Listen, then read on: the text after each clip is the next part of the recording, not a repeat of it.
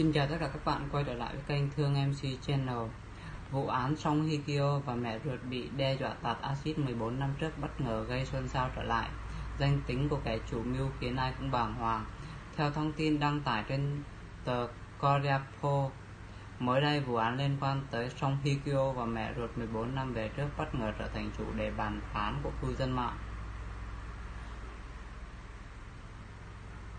Cách đây 2 năm trước, chương trình Remote has Is của channel ấy từng đưa ra câu chuyện này mổ xẻ với nhiều nhận định khác nhau, cụ thể vào tháng 1 năm 2005 mẹ của Song Hye Kyo nhận được bức thư tống tiền với nội dung chính buộc gia đình cô phải chi ra con số cao ngất ngưỡng lên đến 250 triệu won.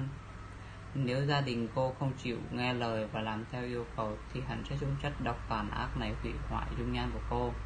Nội dung lời đe dọa nếu bà không gửi cho tôi 250 triệu won, tôi sẽ tạt axit vào người bà và xong Hugo nếu bà không muốn nhìn thấy cơ thể con gái của mình bị thối rữa và hủy hoại trong suốt phần đời còn lại, thì bà nên suy nghĩ về đề nghị của tôi.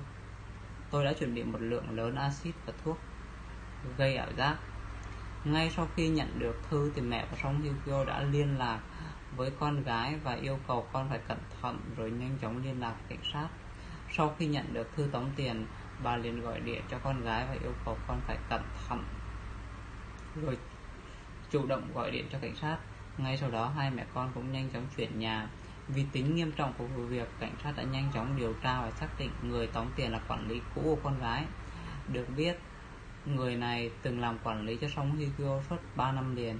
Ngay sau khi biết danh tính của người này, mẹ sông Hikyo vô cùng bất ngờ vì không nghĩ rằng kẻ tống tiền lại là người từng thân thiết như người thân đến vậy. Được biết lý do khiến người quản lý này bị sa thải sau 3 năm hợp tác là do anh không có hành vi không trung thực trong việc nhận tiền hoa hồng từ các buổi chụp hình của sông Hye Sau khi bị sa thải, người quản lý này bị phá sản vì lối sống tiêu xài hoang phí cũng như những khoản nợ cách xù. Chính vì thế bà đã này đã ý định đe dọa tống tiền Song Hye với hy vọng kiếm được một khoản lớn. Tuy vậy, mẹ Song Hye quyết định không truy cứu vì cho rằng người này vì túng thiếu nên dọa nạt chứ không bao giờ làm thế. Vụ việc đã khiến Song Hye vô cùng suy sụp vì đã từng rất tin tưởng người quản lý cũ của mình xem như là người trong nhà